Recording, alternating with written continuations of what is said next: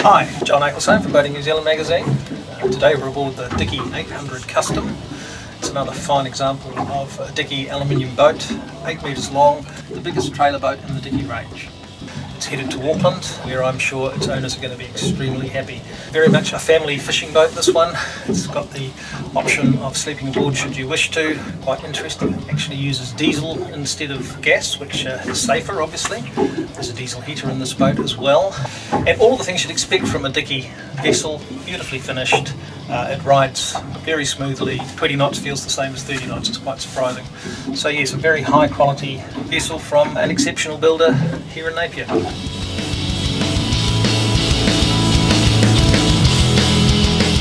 So this is a great feature. Open this up. And it opens the whole space up between the saloon and the cockpit.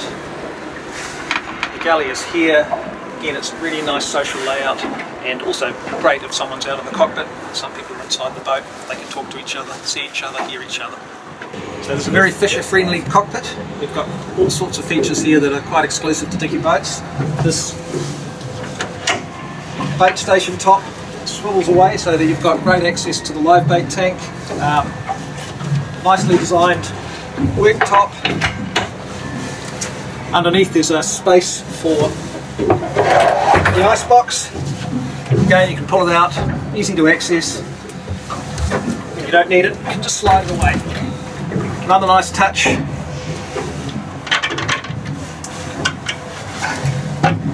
Little boarding step makes it that much easier to get in and out of the boat. So on the hardtop, it's impossible to miss the huge uh, Garmin HD radome up there, and also the FLIR camera, which is on the highest point on the hardtop, and that can be adjusted to look ahead of the boat or to either side.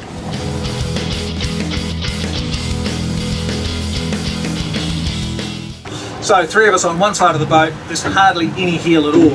Very stable hull. Fantastic for fishing from. The Yamaha 300 horsepower four stroke, Uh, plenty of power for this boat. In fact, it's a really nice match.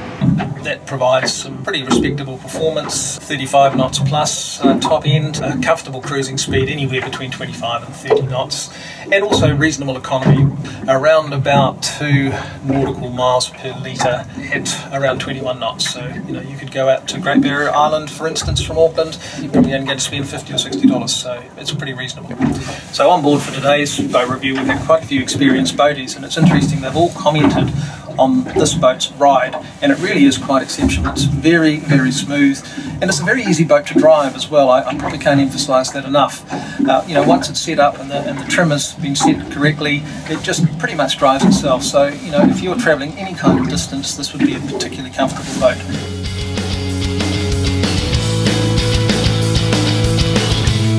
If you were to take this boat away for the weekend, uh, you've got a, a, few options in terms of, of sleeping. Uh, there's a full-length berth in the forward cabin and room for a child there as well, so you could conceivably sleep two people there. Uh, obviously you've got the separate toilet. It's a manual flush toilet in a separate compartment, so there's no need to share your sleeping space with the toilet. Um, here in the saloon we can drop the saloon table and that forms another berth that would sleep two people quite comfortably. So quite a few options as far as sleeping overnight goes. Uh, this boat is fitted with the latest uh, Garmin electronics suite. We've got uh, dual screens, two MFDs, the GPSMAP 7412s. It's perfectly customizable. Whatever you want to see, you can, you can watch on these screens.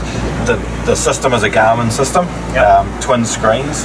Um, I've got it set up so that they work basically um, as a single screen with these smart modes. So yeah, I'm finding the gear really easy to yeah. use. It also communicates with the Fusion entertainment system via Fusion Link. Um, Fusion's also owned by Garmin, so it's a seamless interface, works perfectly. Um, you can also direct the pictures on the screen to the TV, which swings out so that you can see it from the cockpit. Alternatively, you could look at whatever's on one of these MFDs on a device like a phone or a tablet. So, you know, any number of ways of, of seeing the information that's being displayed.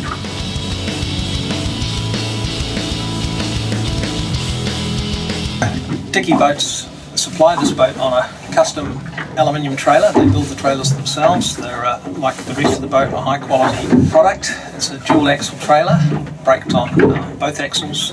Um, with an electronic uh, electro-over-hydraulic braking system, sensor brake system. The trailer is also equipped with a stone guard protector, which is a handy thing to have that just protects the lovely paintwork of the boat. All up, the rig weighs 3.1 tonnes on the trailer. That's dry without any fuel. So if you fill it up with fuel, you're still going to come inside the 3.5 tonne limit. Uh, according to Jason Dickey, this is about as big a boat as he can build that it still is legal on the road. So we've really enjoyed our time on the Dickey 800 Custom. Uh, obviously today the weather's not quite as nice as it was yesterday when we did all the running shots, but nonetheless it's been good to take the boat out in some somewhat different conditions and see how it goes with a bit more slop on the water. Thanks for watching this boat review on the Dickey 800 Custom and for more boat reviews like this go to our website www.boatingnz.co.nz.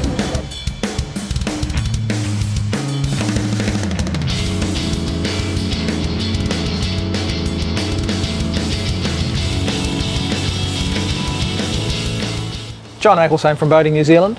Thanks for watching. Uh, if you'd like to see more of these videos, please subscribe to our channel.